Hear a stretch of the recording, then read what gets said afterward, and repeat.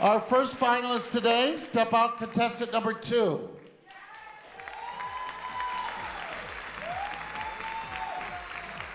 Our second finalist today, contestant number four. Our third finalist today, contestant number seven.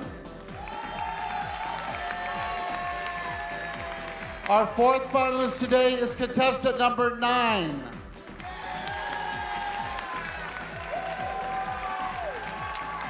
And our fifth finalist is contestant number 14.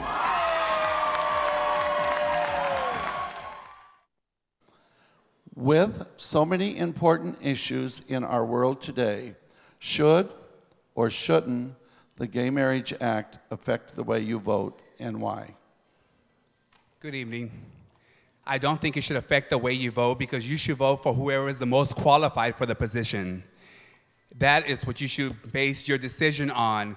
What you feel the person is going to be able to offer us as a nation is what you should really take into consideration. So I don't think that it should affect the way we vote. The most important thing is to remember that we have to vote. It's our obligation, it's our commitment to our nation. So get out there and vote, period. That should be our main concern is to get there and vote. Ladies and gentlemen, I am contestant number two, Kristian. Thank you.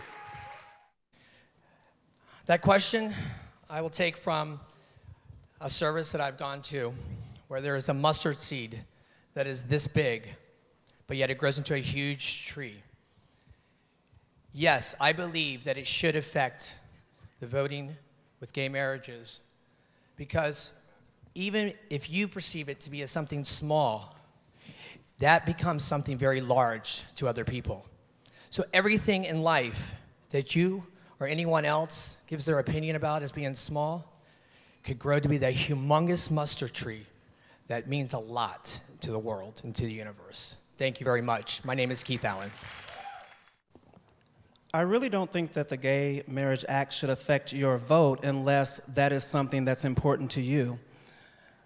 We as Americans, whether you're straight, gay, bisexual, what have you, we have a duty and an obligation to have our, our voice heard.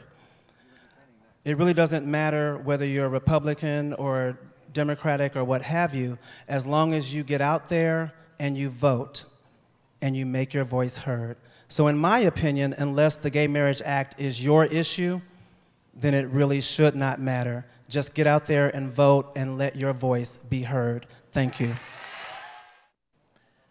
Me personally, I say it shouldn't affect the way you vote because there are so many bad things that's going on in this world today, not only in Russia, but Iraq, but here too, with all the bombing and terrorists and everything. I feel like everyone should vote for who they believe in should be the best one. And that's my opinion. Thank you. Good evening, ladies and gentlemen. As you now know, I am Daniel Xavier. Let me answer this as best as I could because there are two things that I know that you should try to be politically correct, and that's talking about politics and religion. When we discuss the gay marriage issue, I believe it should affect your vote. As a gay society, we have been silenced far too long to be kept in the dark.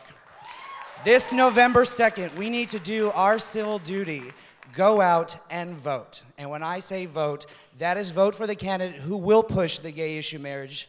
And if there is not a candidate out there who can, you vote to the best of your ability. But the most important thing is, is that you use your voice and vote. Vote for going forward just like every other red blooded American that lives and walks the face of the earth. If you do nothing and do not vote and stay silent, that shows defeat. And as a gay community, we have been defeated far too long not to stand up and ask for our rights. Thank you.